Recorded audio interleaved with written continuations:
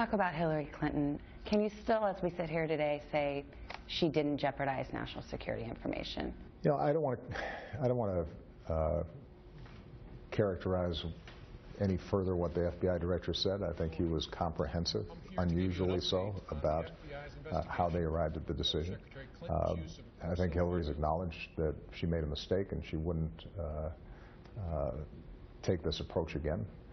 Um, but I think what is absolutely clear is that all this talk about her engaging in criminal activities, the, the, the sort of uh, uh, prosecutorial case that you heard in Cleveland that, that, that, that seems to just ignore what a Republican uh, FBI uh, appointee of, of uh, uh, spotless integrity said, um, that, that's troubling.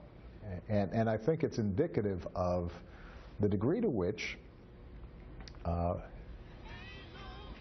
folks are rough on Hillary Clinton in ways that, uh, even as somebody who you know, has, has had my share of uh, you know, getting whacked uh, in the public eye, I'm, I'm surprised by sometimes. And I, I don't think it's fair. But it's not just her political opponents who are saying that this was wrong. You have the FBI director saying it was extremely careless. The director did say that a reasonable person should know. Uh, Look, uh, uh, Savannah, I mean, I'm not going to relitigate this, but what I am saying is that uh, I can say with confidence that Hillary Clinton was an outstanding Secretary of State, that she helped to make this country safer, that if she made mistakes, they were not ones that were intended to in any way uh, uh, you know, compromise American security.